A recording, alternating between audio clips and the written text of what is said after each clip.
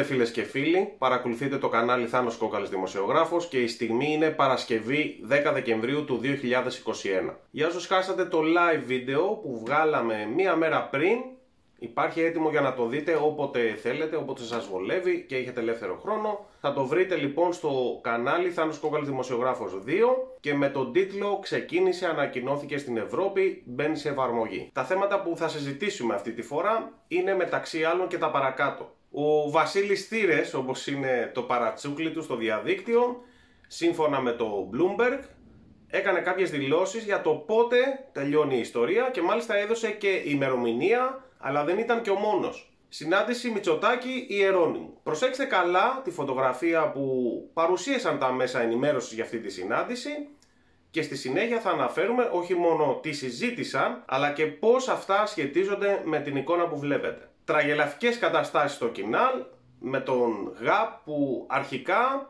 μίλησε με στοιχεία που φωτογράφιζαν ότι έγινε νοθεία ή κάτι σαν νοθεία τέλος πάντων αλλά στη συνέχεια έκανε μια μικρή τουμπίτσα και τα άλλαξε. Περισσότερα για το θέμα θα πούμε στην συνέχεια καθώς υπάρχει και νέα εξέλιξη πάνω σε αυτό. Ξεκινάμε με τον γνωστό Bill καθώς σύμφωνα με το Bloomberg ανέφερε για το γνωστό θέμα ότι το 2021 δεν έφερε τόσο μεγάλη βελτίωση όσο ήλπιζα. Υποτίμησα πόσο δύσκολο θα ήταν να πείσω τους ανθρώπους να κάνουν το ξέρετε ποιο εννοούσε και να συνεχίσουν να χρησιμοποιούν μάσκες. Αυτά λοιπόν υποστήριξε ο συνειδητής της Microsoft. Παρόλα αυτά ο ίδιος υποστήριξε με μια πρόβλεψη ότι το 2022 θα τελειώσει η οξία φάση της ιστορίας αυτής διότι οι περισσότεροι θα πιστούν να αμπολιαστούν, όπως τόνισε. Δεν μας είπε όμως με ποιο τρόπο θα πιστούν αυτοί που μέχρι σήμερα δεν πίστηκαν και ενώ έχουμε βιώσει πρωτόγνωρους τρόπους και λογικές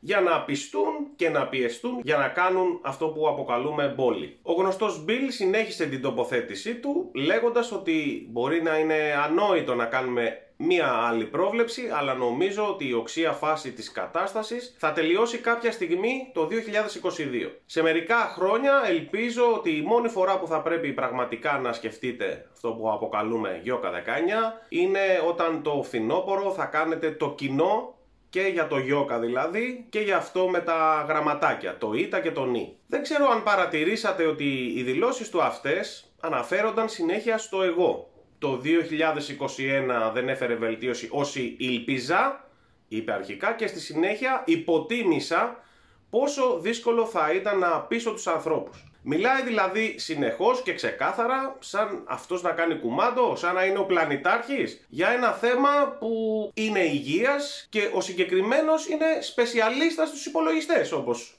ξέρουμε, ξέραμε Μπορεί και αυτό να έχει αλλάξει, να έχει γίνει γιατρός δηλαδή. Ίσως είναι η πρώτη φορά που μέσα από τις δηλώσεις του δείχνει ξεκάθαρα ποιος κάνει κουμάντο σε αυτή την ιστορία ή ποιος φαίνεται ότι κάνει κουμάντο. Την ίδια στιγμή, την ίδια σχεδόν πρόβλεψη, ούτε σύρμα να είχε πέσει δηλαδή, έκανε και ο Παναγής Γαλιατσάτος που είναι επικεφαλής για αυτή την ιστορία, στο Johns Hopkins τον είπα, αναφέροντας ότι σε 6 με 8 μήνες από τώρα η πανδημία θα τελειώσει αν το 80% του πληθυσμού έχει κάνει ξέρουμε ποιο. Και πάλι εδώ μιλάμε για μία πρόβλεψη και η ημερομηνία που δίνεται και από τον Bill και από το συγκεκριμένο ταυτίζονται αναφέρονται στο ίδιο χρονικό διάστημα. Ότι τότε όπως λένε θα τελειώσει αυτό το πράγμα. Το δείγμα πάντως που έχουμε από κάποιες χώρες που έχουν αγγίξει αυτό το πολυπόθητο όπως οι ίδιοι μας λένε 80% και παραπάνω του πληθυσμού που έχει κάνει τον πόλη δεν λέει ακριβώς τα ίδια. Όπως για παράδειγμα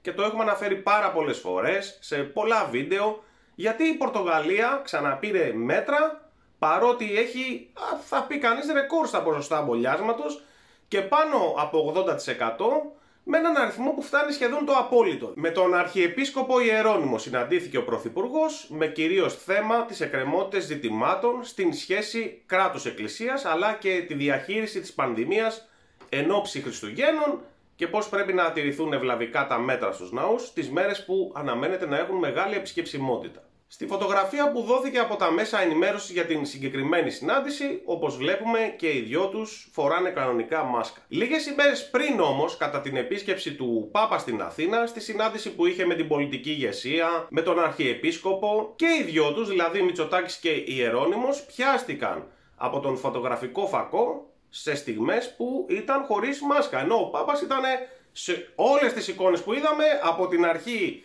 που ήρθε μέχρι που έφυγε ήταν χωρίς μάσκα. Περισσότερα για τα διάφορα σκηνικά με την επίσκεψη του Πάπα Φραγκίσκου μπορείτε να δείτε και στο πρόσφατο βίντεο με τίτλο «Απίστευτα σκηνικά με τον Πάπα» κτλ. Εκείνο που μου φαίνεται λίγο οξύμορο και δεν μπορώ να το καταλάβω είναι ότι λίγες ημέρες μετά από αυτά τα στιγμιότυπα ο Μητσοτάκης και ο Ιερώνυμος που όταν συναντήθηκαν με τον Πάπα δεν φορούσαν τίποτα φορούσαν μάσκες και μάλιστα μίλησαν για ευλαβική τήρηση των μέτρων στους ναούς κατά την περίοδο των Χριστουγέννων. Σε κανονικό σύριαλ εξελίσσονται οι δηλώσεις ΓΑΠ μετά τα στοιχεία που έδωσε και φωτογράφιζαν, έμοιαζαν να μιλάνε για νοθεία στον πρώτο γύρο των εκλογών.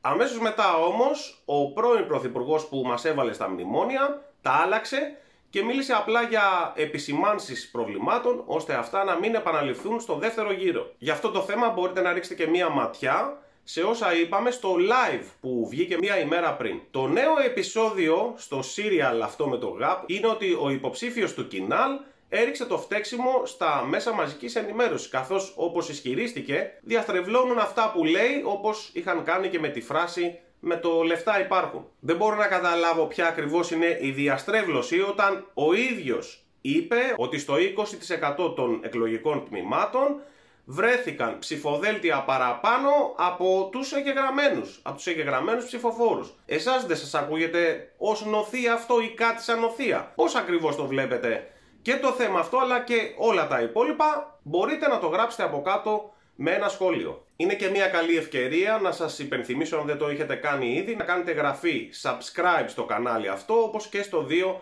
και στο 3 για να κρατάτε επαφή με ό,τι καινούριο ανεβαίνει.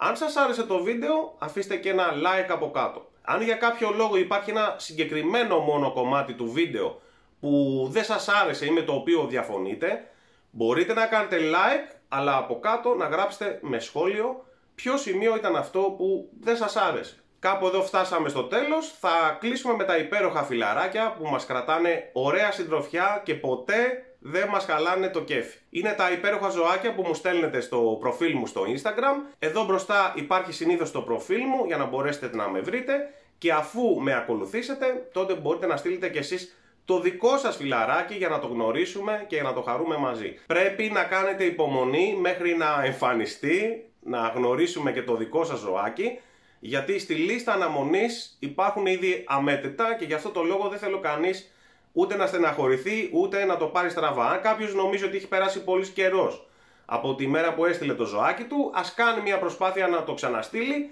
γιατί με τόσα πολλά μηνύματα υπάρχει μια πιθανότητα κάποια από αυτά τα μηνύματα να μην μπόρεσα να το δω, να χάθηκε κτλ. Από εμένα, καλή συνέχεια, για χαρά.